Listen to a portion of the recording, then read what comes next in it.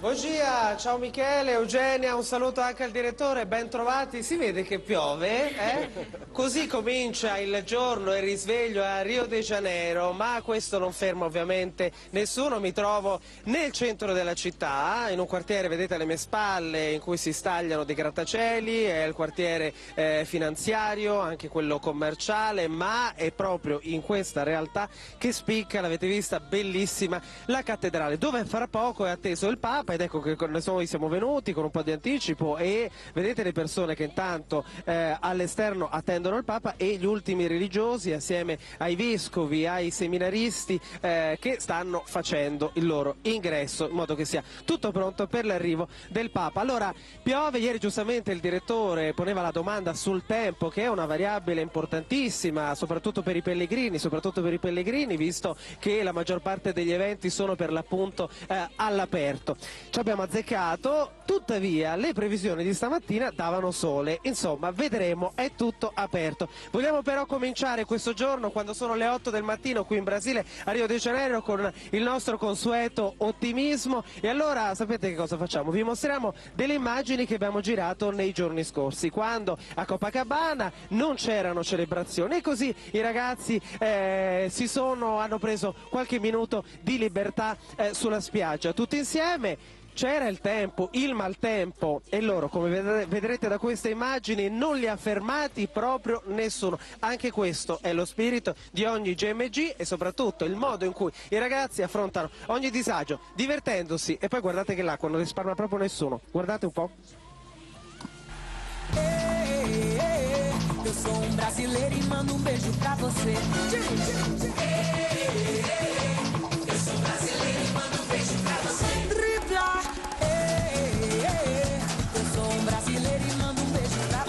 Nella Sidade meravigliosa sono ora le nuvole ad accompagnare il cammino dei pellegrini e nel giorno che segna l'inizio ufficiale della prima GMG taggata Brasile non è stata certo la pioggia a fermare chi ha percorso anche 10.000 km per essere qui. Era, era muy freddo? No, sta muy caliente!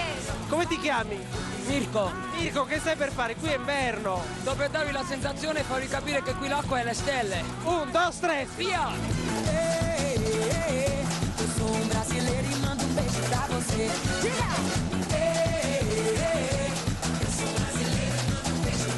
Alla messa di apertura nella spiaggia di Copacabana sono i canti, la gioia e le preghiere a spazzare via qualsiasi ombra di maltempo.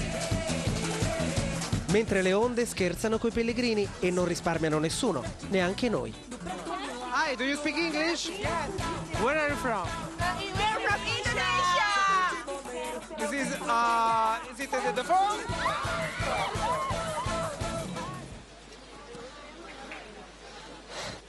È successo, è successo anche questo. Allora, tanto per eh, dare prova, quasi ce ne fosse bisogno, dello spirito dei ragazzi che sono qui a Copacabana e che questa sera si raccoglieranno in veglia. Vi abbiamo raccontato tanti momenti importanti che fanno parte di ogni giornata mondiale della gioventù. Ieri, come avete potuto vedere attraverso TV 2000, una straordinaria Via Crucis così intensa in una Copacabana che si è veramente trasformata. I giovani hanno partecipato numerosissimi, hanno sentito sentito soprattutto ogni stazione vicina alla loro eh, quotidianità, ma anche lo spirito delle, delle, catechesi ha voluto affrontare tre temi. I pastori eh, italiani sono stati così vicini al popolo della GMG con ancora una volta eh, momenti di grande partecipazione e riflessione sui temi proposti. Paolo Fucili ha intervistato il vicepresidente della CEI, Monsignor Bassetti, impegnato proprio in una di queste catechesi e l'ho incontrato qui a Rio de Janeiro per noi.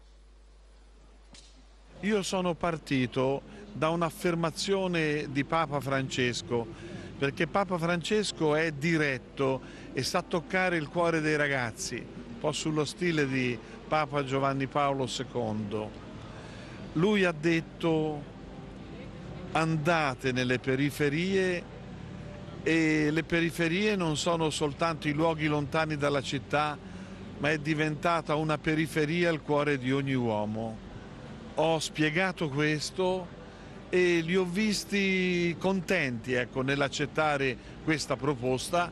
Naturalmente abbiamo parlato, c'è stato anche un, un bellissimo colloquio da parte loro, hanno fatto tutte le obiezioni e più di uno mi ha chiesto, ma in concreto ci dica però, come si fa a essere testimoni, come si fa ad andare controcorrente?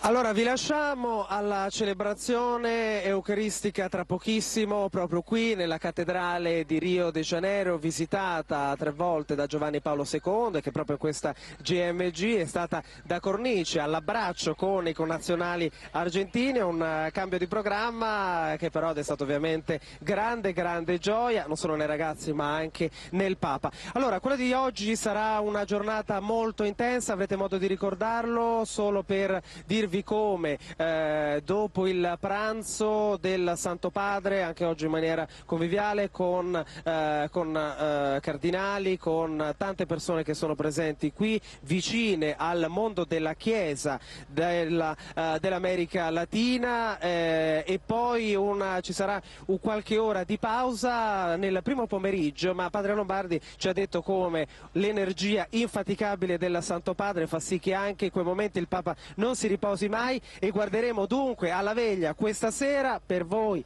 stanotte eh, che si svolgerà in due momenti, il dialogo di alcuni giovani con il Papa, poi l'adorazione eucaristica. Buona giornata per ora sotto la pioggia da Rio de Janeiro, buon giro più tardi.